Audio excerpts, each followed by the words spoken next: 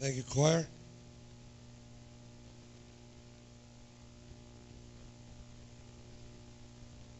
Well, I've forgotten how much I love that, that song.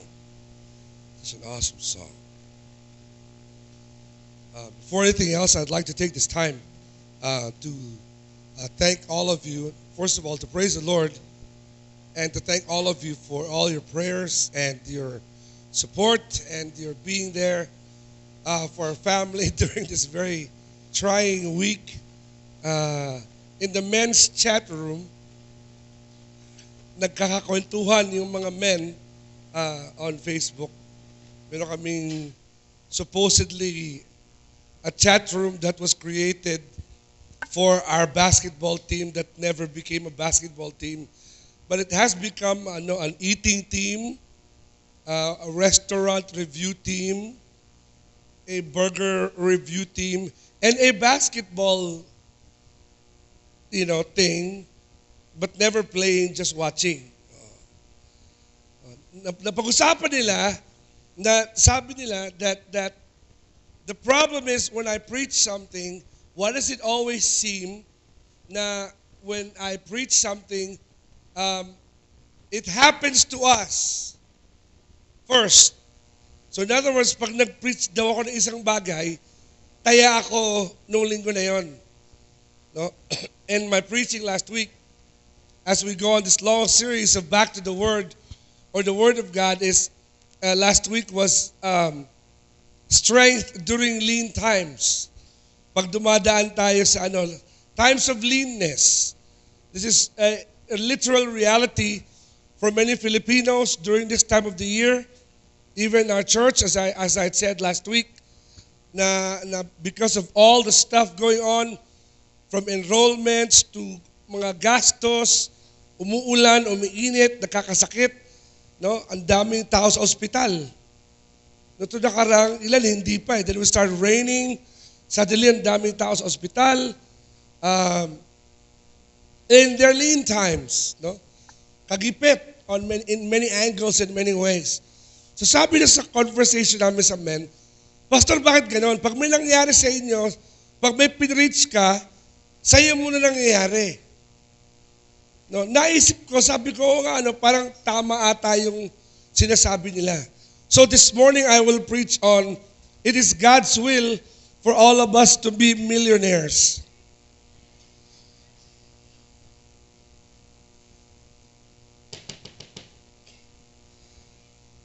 Lahat na, gawin na natin. Pahidan natin na swerte. Tas, y- yun ang preaching ko ngayong umaga. Kalooban ng Diyos na maging milyonaryo lahat ng member ng IBC. Siguro yung mga nag amen dito yung ano, pag nakakita kayo ng picture sa Facebook na maraming patong-patong na dollars, tas say amen if you want to be blessed. Kayo na maututo, amen. Just in case, Lord ha, nag-amen ako ha. Ano ba? Di ba? You know, I will send you blessings today. Just say amen. Amen. Dumating yung blessings mo in the form of bills. Kasi sabi ni Lord, yung blessing mo, nagastos mo na. O kaya bills na lang yan. So I don't, I don't know if that's going to work.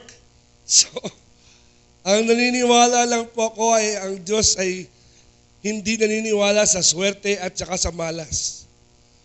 Right? If we believe that God is truly in control of everything that happens to you and I, then we must understand that the best thing we could do is to trust His word for the day.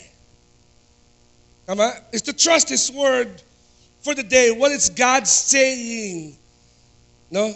What is God saying is more important to you and me than what God seems to be doing sa pananaw natin without God seems to be working. No? Sometimes we get so messed up because we look at everything that's going around us na ma- nakakagulo lahat ng bagay, si ganito, si ganyan, si ganyan, si ganyan. And it messes you up. No? Maybe today you're listening on live on live radio or watching us on live stream and you're saying, oh nga, Pastor, parang, parang gano'n na nga. Well, after having gone through this past week, again, I will be the first to testify to you that God is more than enough. Always more than enough. Always more than enough. No? Uh, always more than enough. Sobra-sobra ang Panginoon. Sobra-sobra. That doesn't take away your right to feel bad. It's okay. It's, it's okay to put on your Facebook that you're feeling discouraged or, sa- or, or sad or disappointed. No? Uh, it's okay to do that. It's okay to feel like everything is coming down on you. That's the world does. It's supposed to do that. In fact, sabi ni Jesus, you're going to have tribulations. That's a pretty hard word. Sabi said, John, in this world, you're going to have not trials, but tribulations. No? But he did say, don't worry because I've overcome every one of them. No? But what's really important for you and us is to get the perspective, yung pananaw ng Panginoon, as to everything that's going on. And if you can't get perspective, you have to go back and understand from what you already know what God is doing.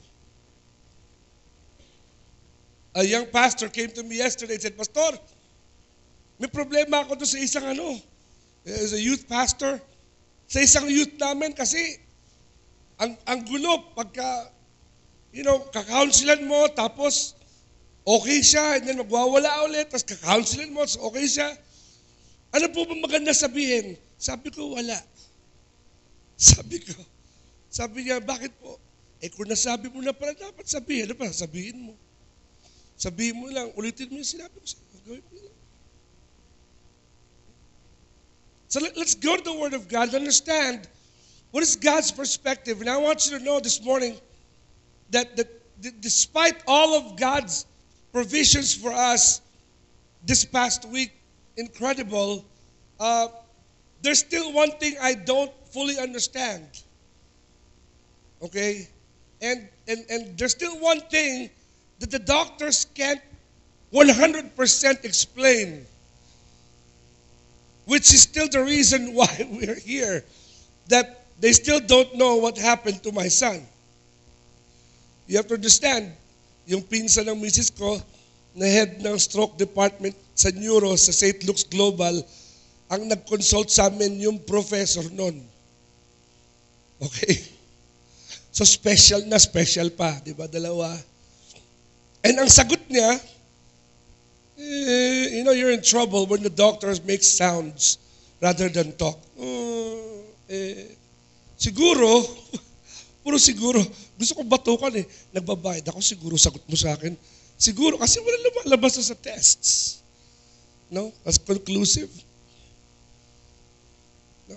This, with all of God's provisions and all of God's healings and all of the things that are happening, medical science, we left with hypotheses. Sometimes God will put you in a hypothesis mode. Yung hindi mo alam mode. This morning, let's talk about that situation as I started last week from Elijah. From Elijah. In 1 Kings chapter 17, from Elijah, the story of Elijah, what an interesting set of passages. Is what we will find when you come to a season of insufficiency. Pag sinabi natin insufficiency, in Tagalog ay kakulangan. Kakulangan. When you come to a season of insufficiency, what happens? I'll be reading from the NLT this morning to put on plain language so that you guys will, will be on the same sync. First Kings chapter 17, verses 1 to 16.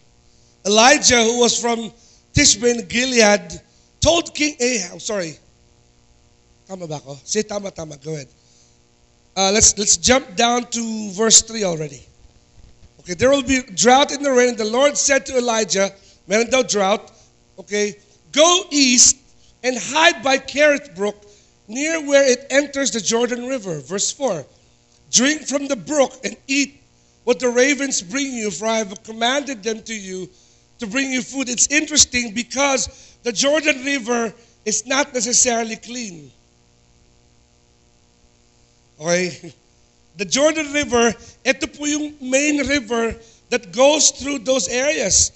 This is the same river where, you know, baptisms were, were done. This is the same river where people wash clothes. This is the same, this is the same river. Okay, old river na yan. So it's not necessarily clean. No? And God tells the prophet to go to the Jordan River. And then his food will be catered by crows. Crows yung uwak, yung ibon itim, known for eating dead things. Eating dead things. Now remember, the Jews have a vow to not eat or touch dead things. We've studied that already. Okay? And here we find God feeding his own prophet from the brook and from crows. Meaning to say, pati pala prophets dumadaan din sa lean times. Bow.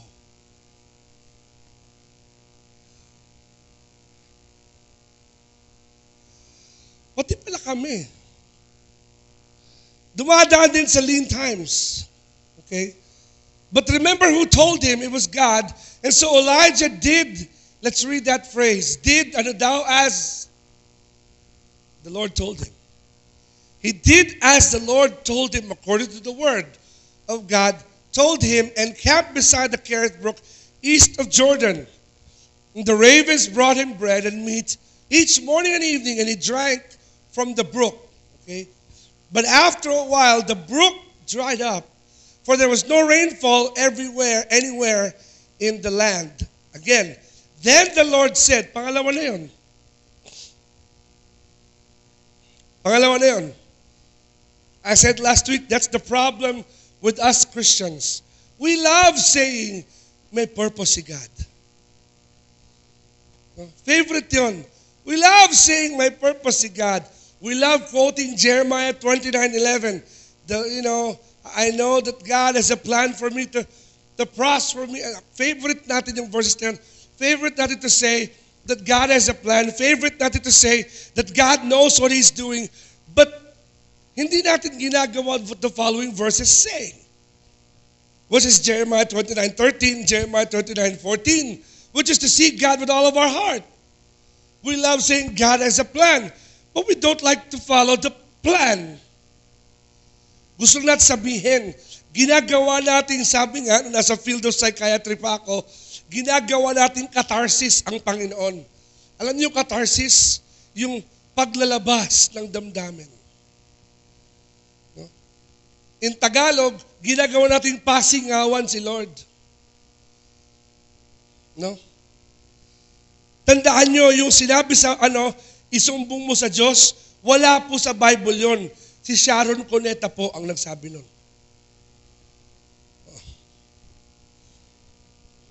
We, we love saying that, but the Lord said to Elijah, pangalawa na, go. Pangalawang go na yun, by the way. First time we read verse 2 and 3 and 4, he said, go. Eto, go again. Go and live in the village of Zarephath, near the city of Sidon. I have instructed a widow there to feed you. This time, a widow will feed you. Okay? And so he went to Zarephath. As he arrived the gates of the village, he saw a widow gathering sticks and he asked her, Would you please bring me a little water in a cup? Bait ni pastor. Tubig lang muna hiningi. Malit lang. No? Hindi 1.5. Tubig lang. Alright? And as she was going, he called to her, Bring me a bite of bread too. Mabait talaga siya. Bite lang. Pahagat lang. Maliit na tinapay lang. No? Maliit. But she said, I swear by the Lord your God that I, notice, in, in, in important, I swear by the Lord your God. She wasn't a believer. God ni Elijah. not necessarily our God or my God. That I don't have a single piece of bread in the house, and I have only a handful of flour left in the jar, and a little cooking oil at the bottom of the jug. The side na side na talaga eh, bottom na eh, no? Latak na lang. And I was just gathering a few sticks to cook this last meal, and then my son and I will die. But Elijah said to her, Don't be afraid. Go ahead and do what you've said, but make me a little bread first. then use what is left to prepare a meal for yourself and your son. Ano kaya ang iniisip nung ali na to? Hopya na nga lang, tataluhin mo pa. Di ba? Verse 14, For this is what, na naman ulit, For this is what the God of Israel says. Notice, nagpapakilala na si Elijah. This is what sabi mo, my God. This is, by the way, my God, the God of Israel, not any other gods, but the God of Israel. Says, pangatlong says na, there will always be flour and olive oil left in your containers until the time when the Lord sends rain and crops to grow again. Remember last week we talked about ano ibig sabihin ng ano? There will always be uh, flour until the time. In the Greek word, it means an actual set date. In the Greek, ang ginagamit dyan, pag sinabi yung time, they use the word chronos, means chronological time, according to a date. Ito then, in the Hebrew, it is according to a date. Merong specific time. So in other words, if you're going through lean seasons today, don't worry because there's a specific time. As we learned last week, we will understand that sometimes God wants to bless us incredibly, but sometimes He just wants to sustain us. Just wants to sustain us. No? Upunuan ko yan. That's why He always says in the Bible, and my God will supply all your needs, not all your wants, not all that you desire, but kung ano yung kailangan mo, isusustain ka niya doon. Pastor, I get that. I get that. I really do. So what do I do? I want to lead you to three things that you'll understand this morning. To understand the purpose of God. Ano bang purpose ng Panginoon? We always say that. God has a purpose. Favorite natin sabihin yun. God has a purpose. No? If you're like me, as we were packing to go home, um, sabi ng doktor, eh wala daw mo makita, pinauwi na lang kami. Sabi, sabi ng misis ko, so, ano yun? Ay ko, ano ibig sabihin yun? Ano, ano yun? Anong plano ng Panginoon doon? Dahil isipin mo, like you mean to tell me, pinagastos lang tayo ng Panginoon ng, ng maraming pera para lang umuwi tayo ng, ng walang dahilan? Kasi wala namang binigay na gamot. Meron yung ano, yung antibiotics, tinuloy lang what he was already taking bago kayo mag-ospital. So yung anak natin tinusok, ng tinusok, ng tinusok, ng tinusok, para malaman na lahat ng bagay ay normal. Oo, yung tatay may brain damage. Pero, so you mean to tell me, oh, nagpa-doktor tayo, isang linggo tayo, tenga lahat ng work natin, backed up lahat. Tandaan nyo, pasokan na ho kami next week, bukas. So, so lahat ng planned, scheduled, whatever namin, tenga lahat yon for a week. Delayed lahat. So you mean to tell me God just basically set us back for a whole week, set us back financially by several thousands, okay, that we didn't really have prepared. Meron ba dito ganon? Yung, meron kayo sa bulsa niyo na pwede nyo ipamudbud lang sa ospital ng walang dahilan? Bigyan nyo lang kila doc. You know, Ito doc, ang Starbucks mo. Yung ganon. Iyo tsaka buong barangay mo. Yung ganon.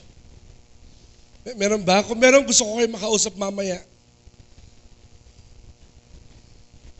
You know, and she was like, so ano yun?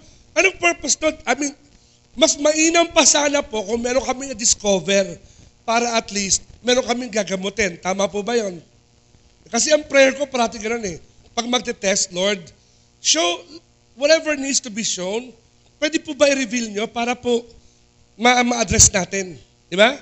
Yan, sa blood test, may kulang siyang ganito, may sakit siyang ganito, ito kamatay natin. Nag-brain scan kami para makita yon. Ito, hanapan natin ng, you know, ng solusyon.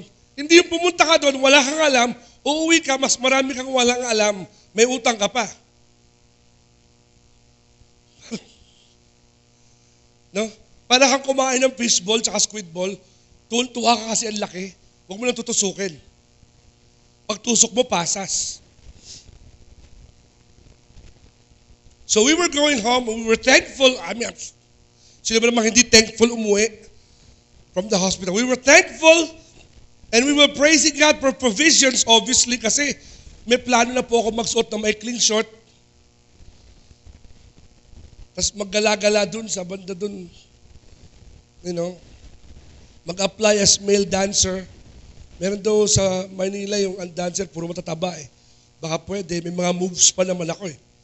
Na naiiwan, you know. Di ba? I mean, I mean, the Lord obviously, you know, took care of stuff, but we were still in a quandary. Ano yun? Ano, ano ang purpose doon? Sometimes you're in that situation. Sometimes you get put in a position like that and you say, Lord, alam ko na may purpose ka eh. Pwede po bang malaman mo yung purpose? Malaman namin yan. You're looking for God's purpose in seasons of insufficiency. The first thing we will understand is God's purpose may be one, purification. Ano yung purification, Pastor? In, in verse 2 to 8, it says, And after a while, the brook dried up, and then the Lord said to Elijah to go. Na, teka lang, sino ba ang nagpadala kay Elijah dun sa brook? Di ba yung unang go? Si God. Sinong nagpatuyo? Di ba si God din? And then he says to Elijah, then go again. Sino nagpag-go? Tatlo tayo, pangatlo lang go yun. Pangalawa to eh. Pastor, what do you mean in times of insufficiency? In, in times of insufficiency, it may be that God is purifying us. He cleanses and removes us of the old, unnecessary, and stagnant things that often make, uh, make us dependent on blessings instead of the blesser. Di ba ganun tayo? Sometimes we depend on our security.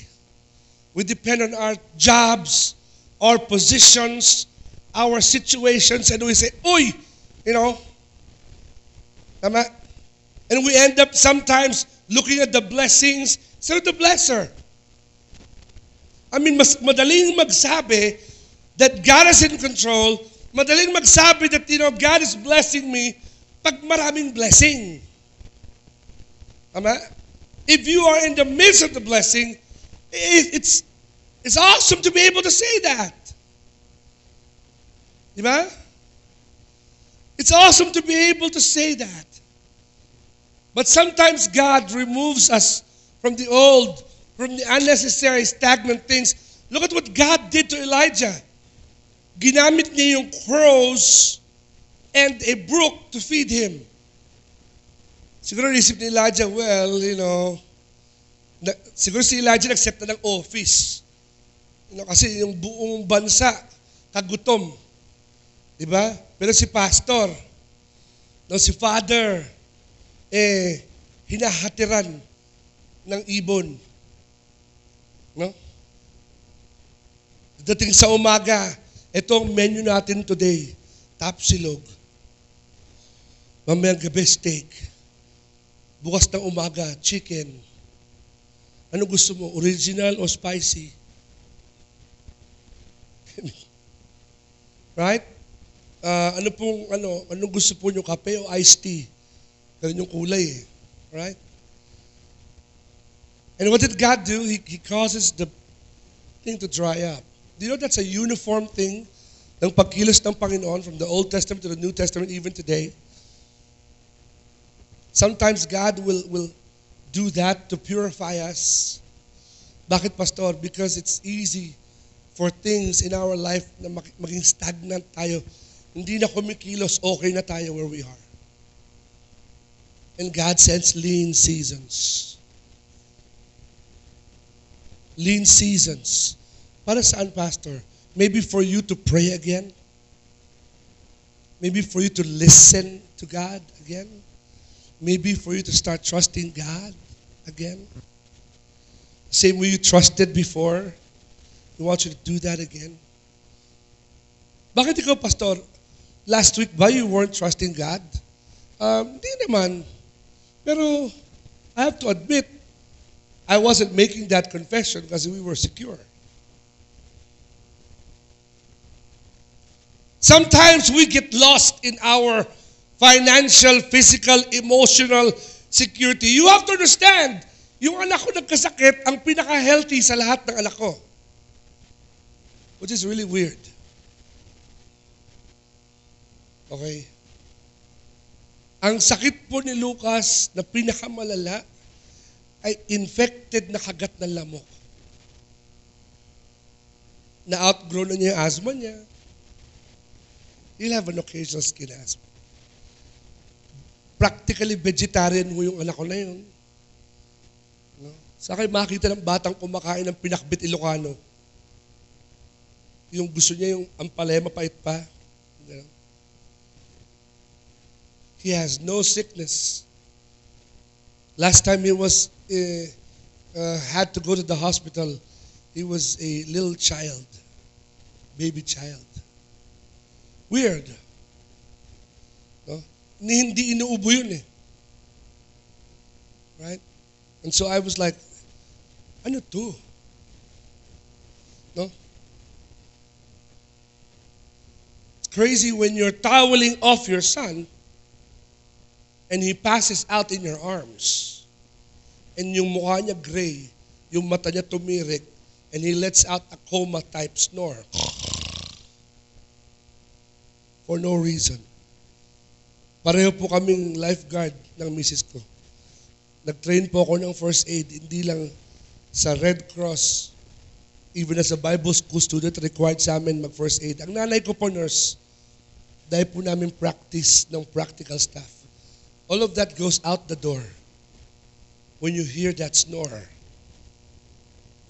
Bakit? To those of you who don't know, that's usually a sign of a coma or a stroke na wala ng oxygen sa brain. the, the doctor said, baka naman naipunan ng laway sa throat. Hindi na siya ipapaliwanag. Sabi ko, Dok, ano siya ba ipunan ng laway? Nakatayo siya. Oo nga. Wala na, wala na may paliwanag kasi nothing comes out. The scariest moment you have. Huh?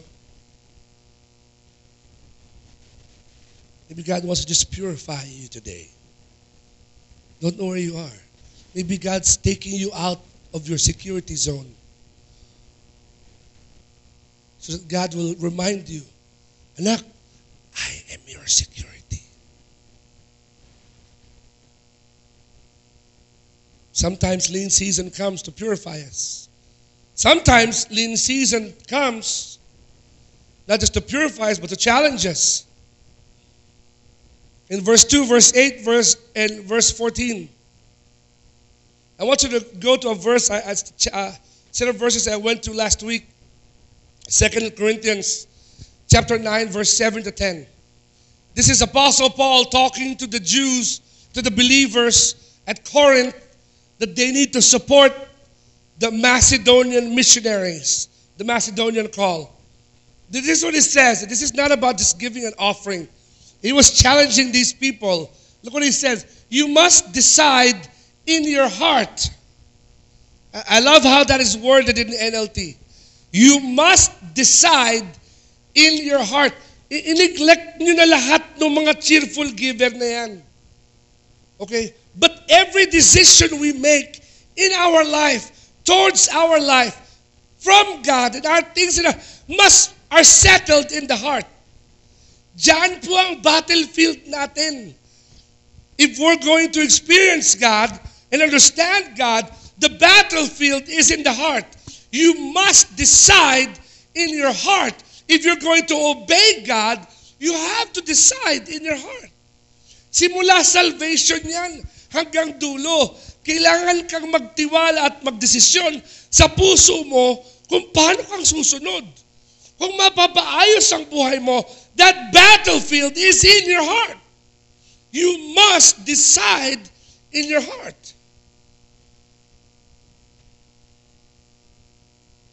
Bakit, Pastor? Because the heart, according to the Bible, is deceitful above all things. Mga kabataan, do not make decisions with your heart, with your emotions, because emotions are deceitful. Kasi pastor eh, I believe in my heart. Stop! Stop, stop. Huh? Do not say things or make things because it's how you feel. Because feelings are deceitful. Talaga, Pastor? If you want to make the right decisions in your heart, in your feelings, let it be based on the Word. And when the Word, what does the Bible say? What? Ano pa lang to? Sa, sa Psalms pa lang to eh. Sabi niya, hide, Psalm 119 verse 9 to 11, I will hide each word in my heart. So I won't sin against you. That's what he said. That's what he said. Kasi pastor, alam ko hindi siya Christian. Yung maliligaw ko. Kaya lang, ang bait-bait niya. Bumili ka ng aso. Mabait din yun. If you want someone loyal, cute, always happy when you're happy, na hindi ka iiwan, ang kailangan mo aso, hindi boyfriend.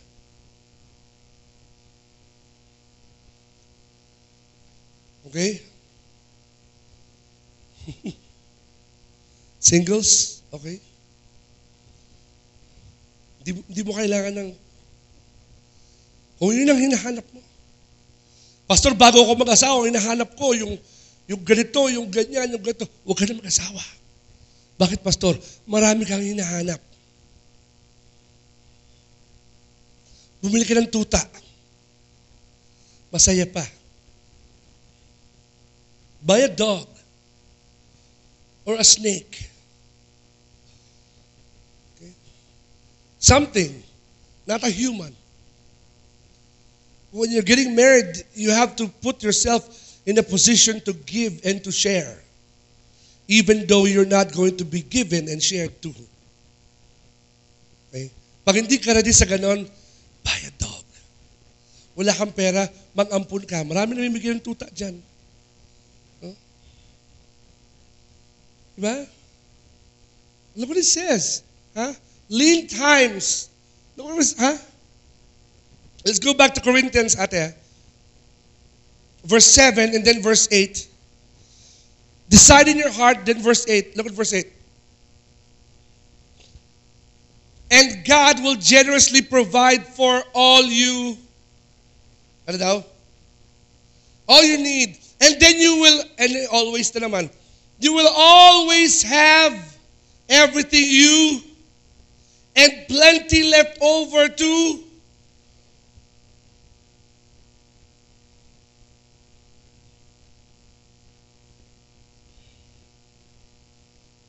Alam niyo, hindi ako masyadong sharing. Pero yung misis ko, para itong ina lagi sa klolo eh. Ito si Cher to. Si Cher. Si Cher. Si Cher. No. Out, outdone ako by that. We have plenty left over to share.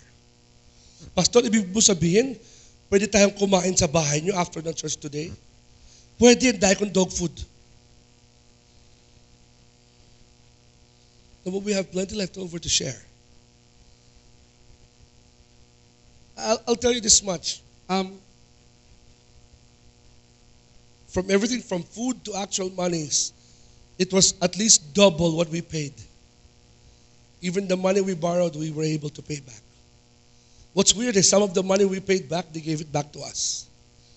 So now we're investing it back. What I'm saying is, the Lord will, oh, He will always provide for what you need. Then you will always have everything you need and plenty left over to share. Verse 9, it gets better actually. And the scriptures say, I love how Apostle Paul always says that. And the scriptures say, they share freely and given and give generously to the poor.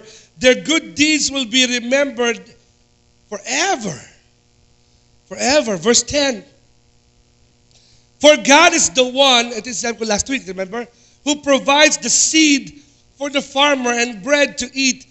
In the same way, He will provide and increase your resources and then produce a great harvest of generosity in you. You see, when you when you respond to the challenges of God, hindi ka pwedeng magdamot.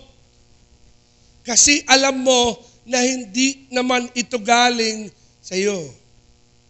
Promise, pag nagdamot ka, tigil ulit yan.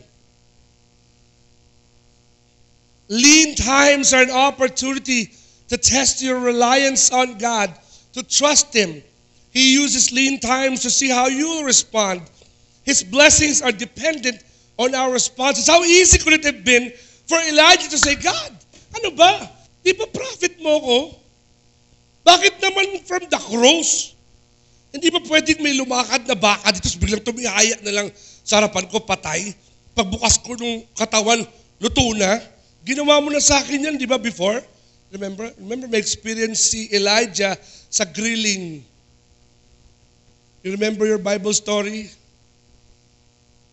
Nagpagawa ng steak na malaki si God sa Elijah. Pwede naman ganun eh. No? God naman sa crow. Sige naman ako dito sa Brook Canal, technically speaking. Galing na nga sa Jordan, kumanal pa pahapot sa harapan niya. Dito, no? And then, eh, but and he found out God was true, and then God sends him to go where? Go, go from an unbeliever. Doon ka kumain. Yung hindi ha? You mean, God, I'm going, you're going to feed me using unbelievers. You're going to feed me using this or that. You know, I mean, pwede naman magreklamo si Elijah. Pwede siya magdabog. Pwede siya, God, paano ba? Yung prophet mo, alagaan mo. Sipin ng mga tao, totoo yung Diyos ko, bakit naman di mo ako inaalagaan? You know? Kung minsan madali sa atin magmukmok. Maawa sa sarili. Lord, ba't naman ganun? Nakakalimutan ni Elijah. Nakakalimutan ni Elijah. Kung nagreklamo siya, he would have forgotten that the rest of the world was not eating. Sometimes it's easy for us to throw a pity party. Lord naman, ba't naman ganito? Samahan mo naman, nagpray naman ako, nagsa-church naman ako, nagkaganito. Gaganito, nagagat 1 Peter chapter 5, verse 7, 8, and 9. Ang sabi, keep this in mind that other things like this is happening to other people in the world.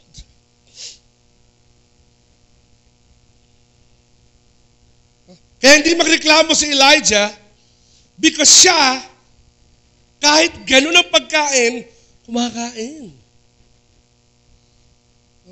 Because it's God who gives this. May, may I tell you, and I always say this from this church, before you complain about how hard life is, how rotten your job is, how overworked and underpaid you are, there are literally millions of unemployed Filipinos today. And you are eating, some of us more than others.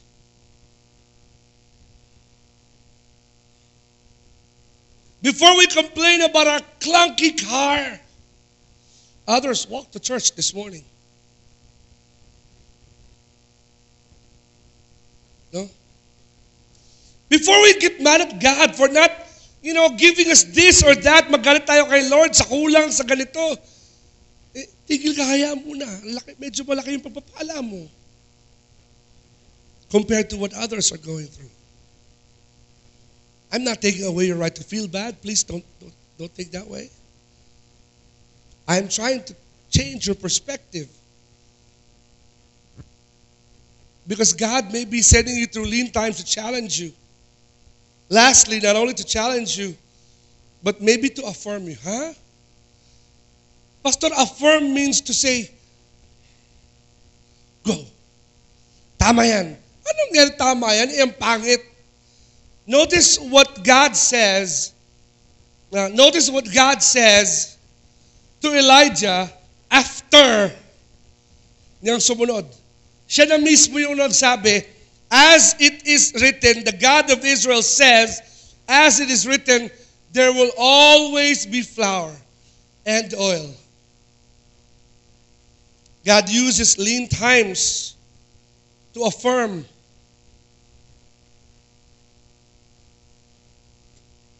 His promises as well as our right response. Pag sumunod ka ng tama, He will affirm your responses. He uses lean times so that He can renew, refill, and remind us that He is the true source of blessings. Interesting kasi in this very short story, no, something we might miss is that I have pointed it out already. That in that very short narrative of a story, yung maiksing kwento na yan, paulit-ulit ang team. Ano yung pastor? Always says, God says, God says, God says. Paulit-ulit din yung sinabi. And he said, go and go and go. And then paulit-ulit din yung sinabi. And God will always, God will always, God will always. Yung uniform tatlo yan, paulit-ulit sa buong kwento na binasa natin in lean times. Always that God initiated everything. Always that God says, God says. But God also says to go. But when you go, God will and God will. God will. And maybe this morning you're saying, Pastor, how, how, how do you say that? This morning I will say this to you again from experience. That if we will say that God authors everything, may plano ang Diyos sa lahat, keep following God. Feel bad while you're doing it.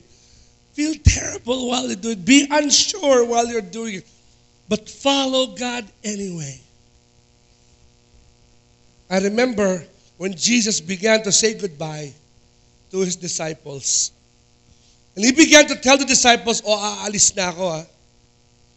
Aalis ako, dito yung mangyayari sa akin. Remember, the disciples the whole time thought Jesus magsiset up ng kingdom to defeat the cruel Romans. Yun ang iniisip nila eh. Hanggang papaalis na si Jesus, ang tanong pa rin eh, God, ano ba? Game na. Matatayo tayo ng kingdom, you know. These guys thought that way. Kaya nga may pocket knife na malaki si Peter, nakaputol pa ng tenga eh. Right? Kasi, like Jesus, you know, ito ba gawin natin? This is what we're gonna do. Paulit-ulit yan. Paulit-ulit yan. And, and Jesus says this to them. And, hindi niyo ba naintindihan? Jesus says, aalis ako. Aalis ako. And then di pa rin naintindihan, and he says the epic questions to Peter. Alam niya, pag Holy Week, pa siya sabi, Peter, do you love me? Tatlong beses. Finally, Peter said, yung last sabi niya kay Jesus, ganito, Jesus, to whom shall we go? Saan ba kami pupunta? Peter shouts to Jesus, You are Christos, the Messiah, the Son of the living God. Sa saan ba pupunta? Maybe God's put you in that position this morning to understand that in your lean times, God wants to affirm you. Anak, I didn't send that to you because you're being bad. Hindi kita pinaparusahan. But I would just want to affirm you I'm in control of things. Don't worry about it. Umuwi po kami ng isang araw na wala kaming mas marami kaming tanong kaysa sagot. No? In fact, uh, hindi nga kami pwede lumayo eh. Kailangan malapit lang kami sa ospital. Kasi nga, baka magka-episode ulit. Yun lang ang sa lahat ng episode ayoko eh. Pag may to be continued, inaabangan ko yung palabas eh. Pag ito, ayoko na magka-episode. You know? Kasi pag nagka-episode, bumalik lang kayo dito. Isip ko naman, ba't kayo babalik dito? Sagot naman, pareho lang din. May laway sa lamunan or something. No? May episode. Ano to? Series? You know? We had more questions than answers. But when we got home, and while we were going home, and then days upon days and upon days thereafter, God was affirming and affirming and affirming and affirming. I mean, I got to praying, Lord, may ginagawa ba akong mali? Kung may ginagawa po akong mali, patawad po. Turo mo naman sa akin to para hindi ko na ulitin. No? Pag, alam mo, pag ikaw yung may sakit, walang problema eh. Di ba? Inom ka ng gamot, tapos tuloy ka na, no? Pero pag anak mo yung may problema, yun ang mahirap eh, no? Pati, pati bahay ng kapitbahay mo, gusto mo ibenta para lang matapos na yung, yung problema niya. Di ba? Lord, ano ba, ano ba, you know? If it's, if it's your kid, it's a different story. Maybe today, you know, some of us are being reminded to say to God, God, it's like Peter, saan pa po ba ako pupunta? Where else am I to go? Where else am I to go? We had another scare, by the way, not just this week. I was preaching all week at a camp in Zambales. And, and I'm teaching, like we said, lumalangoy po kayo mag-asawa. My wife was a competitive swimmer, both of us are lifeguards. So tinuturuan ko lumangoy, right? Right? Tapos si, si Franklin, mukhang natural swimmer yung bata. Kasi first time ko siya tinuruan, nakuha niya agad. In one sitting, oh, paddle, kick like this, nakuha niya agad. Sabi ko sa isip ko, turuan ko kaya mag-stroke to, baka sakali. First time kasi, no? Alam niyo, nag-stroke ka ba tama? Ka agad. So may potential to ah. Sige nga anak, throw kita mag-dive. Ano ah, walang demo. Ano lang, words lang. O raise your hand, then point to the knee, bend your knee, dive. Tapos pag dive mo sabay, you know, stroke. How old is Franklin? Seven? Seven years old. I'm instructing him by a mouth. You dive, boom! Perfect dive. Start stroke. Na, we talk about freestyle stroke. May potential to button to. Of course, I was catching him every time. No? Iba sa inyo yung stroke na alam niyo, pag nag-swimming, masakit sa batok, eh. iba pong stroke yun, huwag niyo gagawin yun. Mainit. Iba sa inyo, sabi, ano? Na-stroke yung bata, kawawa naman. Hindi po. Stroke yung stroke. freestyle, you know, backstroke. You know. Hindi pwede yung back of the head stroke, yung totoong stroke. You know? Eh, we were relaxing in the pool. Malaki yung pool eh. It's a big pool. My wife on one end. Sabi niya, Dad, gusto ko pumunta doon sa kabila. Kasi 3 feet doon, lalakad siya. Ang problema ng pool, 3 feet, 3 feet. Yung gitna, 6 feet. So, okay, sige, lakad ka na doon. Hawak ng misis ko yung si Zach. Yung, yung apo niya na pamangkin ko. Na malakad doon. And guess what my son decided to do? He decided na since marunong siya mag-dive, magda-dive siya. Na walang sasalo sa kanya. Nag-dive siya. Guess ko siya nag-dive. Akala niya 3 feet. Sa 6 feet siya luma- dumive. Yung, yung kaibigan namin, anak asawa din ng paso sa kabila, siya yung lifeguard sa kabila. Nakalimutan niya na hindi pa siya marunong lumangoy. Ay, yung bata, yung bata, di ako marunong lumangoy. Okay. Yung misis ko naman, you know, na ano, lifeguard and competitive swimmer, hawak yung apo. So, napunta sa akin yung duty. Life, hindi po ako lifeguard, life vest. Salbabida. Ano mo, tagal na po ako lumalangoy. Four years old when I started to swim. Yun ang fastest stroke ko ever, ever. Yung, yung ano, 25, 30 meter pool, ando na ako kagad. Naka 300 akong balik eh, bago ko makuha yung bata. Ang bilis. over the last couple of days, sino ko sa Franklin, totoo, ba't ka lumundag? Lumundag. Sabi niya, akala ko kasi, mababaw na eh. Eh, bakit ka lumundag? Ha? Sabi niya, eh kasi, di ba sinasalo mo naman ako parate? Sarap batukan eh. Usually, pag alam ko, doon lang ako sumalo. Ano yung tawag doon? Nagtitiwala siya eh. Akala niya tatay niya immortal. Kahit lumundag siya sa six feet, I can jump on a six, you know, feet depth, eight feet depth, and I know my dad, he's always caught me. He can catch up with me and fine. No? Inabot, halos inabot ko naman by the time, after noon, nakahiga ako for three months. Hindi po kasi ko huminga. No? But he just believed I'd always catch him. This morning, let's stop just saying, Lord, I believe you. Let's go to the Word of God. Go to the Word. You know, huwag lang tayo mag-amen sa Facebook. Let's go to the Word of God and say, God, ano to?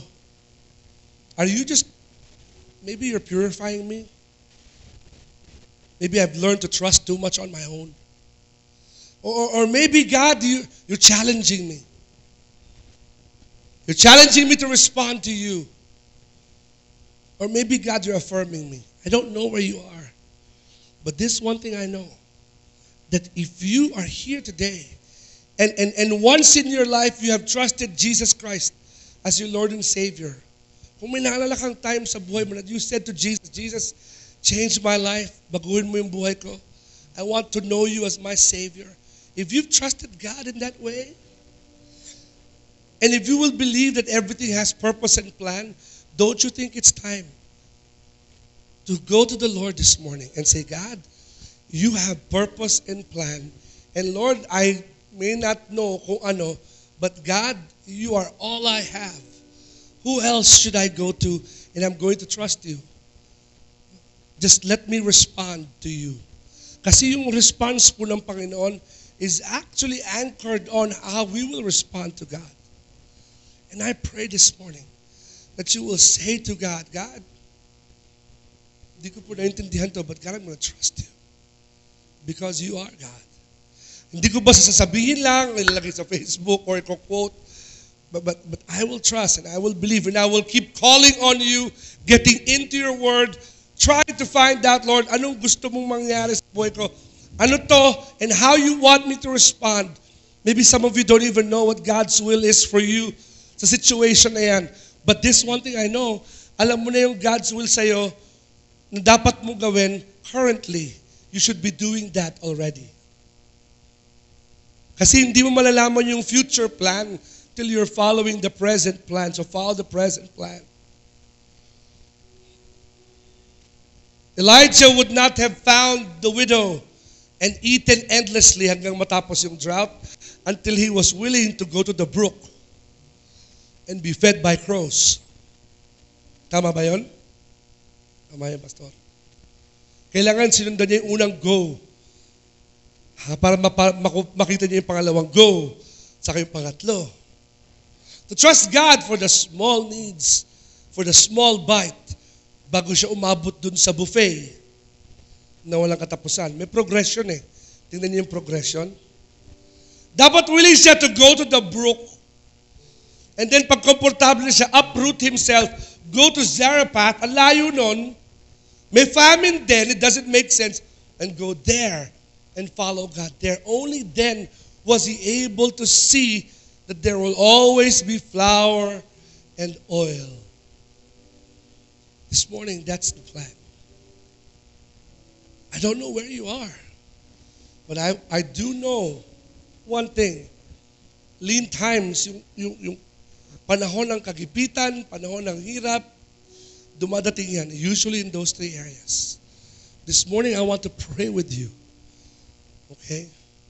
And I want to be able to, to come and pray with you this morning as you are. Would you stand with me this morning? Let's come pray. Dear Father, as we uh, come before you, I understand, Lord, on first-hand basis, Lord, that sometimes mahirap talaga, Panginoon. There's hardships that come in our lives, I pray that you would teach us, Lord Jesus, to keep trusting you, to keep following you today. Keep trusting you and to keep following you to today. I pray that you would help us to listen to your word. Listen to your word. Trust your word. Trust you, Lord Jesus. I pray. Continue to speak to us, Lord, this morning. Maybe you're here. And you may be a member of the church, maybe you're an attender of the church, maybe you're a visitor or a guest. Dito po sa IBC, this altar is, is a place where we could pray, seek the Lord together. If you're here this morning and you would like to pray with us, would you come and uh, at the altar, let's come and pray together. Okay? No? Sabi ng isang old hymn, sabi niya, take your burdens to the Lord and you leave it there. No? Huwag mong dalahin pa uwi. Dapat ang dalawa pa uwi is an assurance from God, is a knowledge from the Lord. So if you're here this morning and, and God speaking to you, and you have a heavy heart this morning, we want to pray with you. I want to pray with you this morning. Okay? So if, if that's your situation today, would you come to the aisle let's come and pray together? All right? All right? Let's go. Let's go. God, God bless you. Let's go. Bring it to the Lord. Lord, ito po yung situation ko. Let me bring it to you. God, ito po yung, this is, ito po yung needs ko. God, I need an answer from you. Maybe some of you are already following the Lord, but you're not sure. Maybe you're afraid. Lord, natakot po ako eh, kasi alam ko naman ito yung daan na pinapagawa mo, pero God, you know, my heart, Lord, ma- magulo. Na, na, kinakabahan po ako, hindi ko alam yung gusto mong gawin sa puso ko, sa buhay ko. God, I'm going to follow you. You know, but I'm going to bring my burdens to you. you. Let's come together and pray. Let's come together and pray. Maybe God has sent lean seasons to you to to purify you. May mga dapat na bagay na alisin para palitan ng bago. It's like David's prayer, give me a new heart. Uh, maybe God is in your situation today, He's challenging you, anak, oh, ito na yan, ha? Ngayon, alam mo na yung pinapagawa ko sa'yo, ito muna yung gawin mo. And maybe you're thinking, God, ang layo nung pinapagawa mo sa pinagpipray ko, you it anyway. As we said last week, follow the path. Follow the path. From the river of Jordan to Saraphat. Follow it. Follow it. Maybe today you're discouraged, but you also know that you're following God and God has brought you here to affirm you, to tell you everything's going to be okay. I got you. I got it. I have everything under control. If you're here this morning and you're saying, Pastor, Pastor, alam mo, gusto ko magtiwala sa Diyos. Gusto ko maramdaman yung plano ng Diyos sa buhay ko. I want to know the plan of God for my life. So if you're here today, you're saying that today, if you've never followed Jesus in salvation, would you say in your heart, sabihin mo, Panginoon, ngayong oras na ito, iligtas mo po ako. Save me, Lord, from myself. Lord, I come to you today. Lord, I trust you today. Forgive me of my pride. Patawad po, Panginoon, sa aking yabang. Nagtitiwala po ako sa iyo ngayong umaga. Baguhin mo po ako, Panginoon. Change my life. My friend, the Bible says a simple acknowledgement of prayer in that way changes your relationship with God. Maybe you're here today and, and you have a burden in your heart. You're here in the altar today. Would you bring it to the Lord this morning? Say, I'm your pastor, but I can't explain everything to you, but God knows what you're going through. Let, let Him take care of that, would you? Dear Heavenly Father, we come before you this morning. Lord, I may not understand everything that's going on. Maraming mga bagay, Lord, that are happening in our lives. Iba magulo. Yung iba, Panginoon, we don't really know what's going on. Pero Panginoon, I know from having experienced you move again, even last week in our family situation, I know for a fact that you know everything that's happening to us. That you may be sending, Lord, lean seasons, Lord, to, to, to purify us, to challenge us, or to affirm us. But Lord, in all of those things, you are under control. And you are working, Lord. Teach us to follow you, to do as you say. Teach us, Lord, na hindi matakot na sumunod sa iyo. To take you up, Lord, on a challenge to follow you. Because, Lord, if we follow you, then we will always have bread and oil. At hindi lang po yun, Panginoon, about needs and monies. Also, Lord, bread and oil also means, dear Father, these are needs, emotional needs, physical needs, more so spiritual needs, Lord. Hindi po kami matutuyuan, Panginoon. Lord, to those who are here this morning, ikaw nakakaalam at what stage they are in their challenges. Lord, above all of those things, teach them to listen to you, to keep seeking you, to keep following you, to keep responding to you.